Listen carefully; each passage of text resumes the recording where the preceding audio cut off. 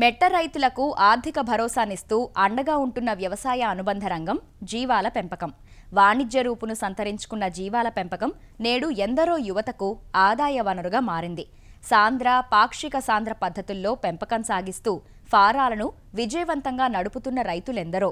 అయితే ఇప్పటికీ బయట తిప్పే విస్తృత పద్ధతిలోనే జీవాలను మేపడాన్ని గ్రామాల్లోని రైతులు కొనసాగిస్తున్నారు. అలా బయట తిరిగి మేసే గొర్రెల్లో వ్యాధి నిరోధకత తగ్గి వ్యాధుల వ్యాప్తి తీవ్రంగా ఉంటుంది.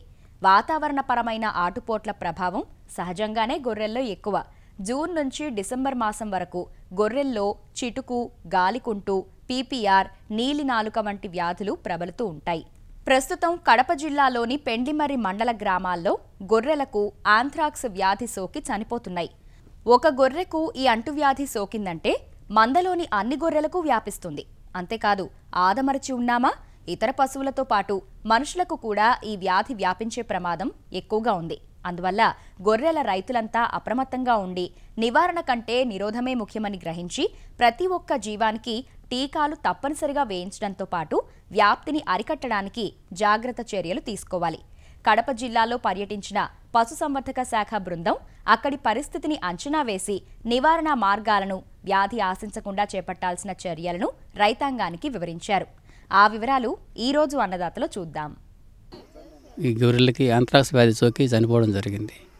రైతులు కొంచెం చైతన్యవంతంగా ఉండాలండి. ఇది వచ్చిన వెంటనే ఏం చేస్తారంటే తీసుకురావడం దారి పొడుగుతో రక్తం కారుతా వస్తుందన్నమాట.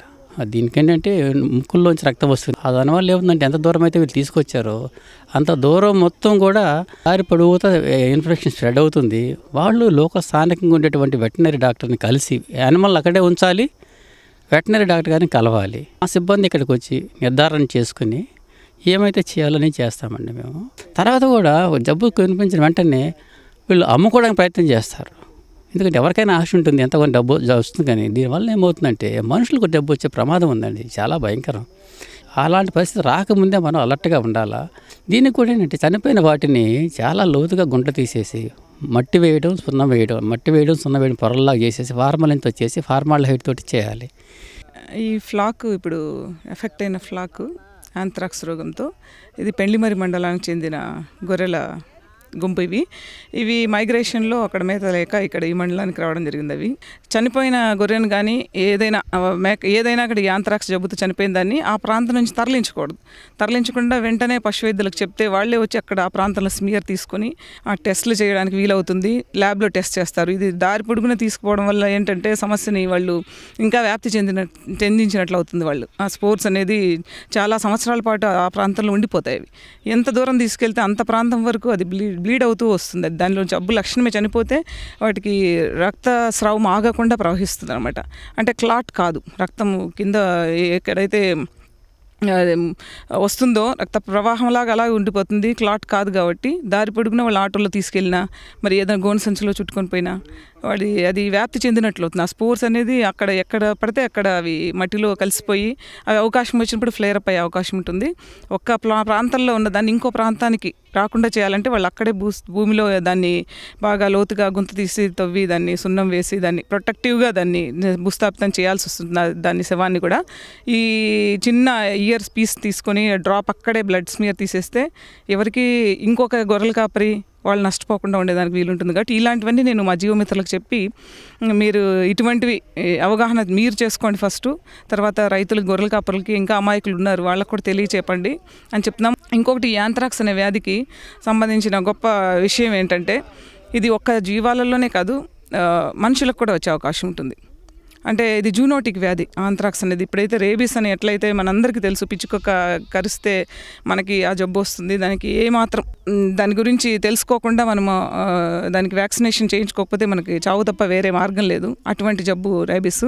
అంత కష్టమైన జబ్బు అనేది మనం యాంథ్రాక్స్ కూడా తీసుకోవచ్చు.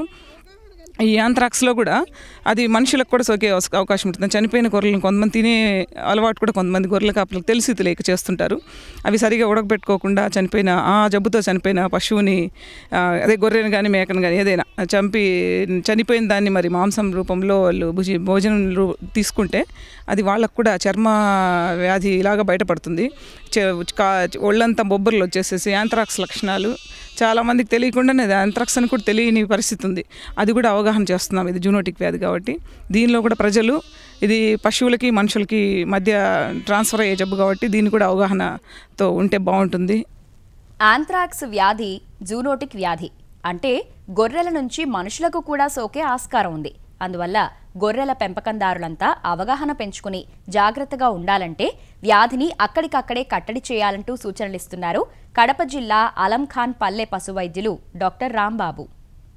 గొర్రెల్లో యాంత్రాక్సు దొమ్మ రోగము నెరడు వ్యాధి ఆ, నెత్తురుకట్టు వ్యాధి అని మన గొర్రెల కాపులదారులు కానీ పిలుస్తూ ఉంటారు. మనకు మామూలుగా అయితే యాంత్రాక్స్ అని మన వాళ్ళు వివేకరంగా పిలుస్తూ ఉంటారు.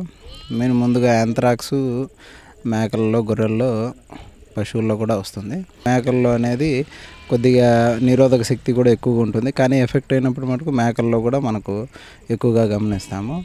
మనకు ఇది ముఖ్యంగా వచ్చేసి స్పోర్ట్స్ అంటారు సిద్ధ బీజాలని.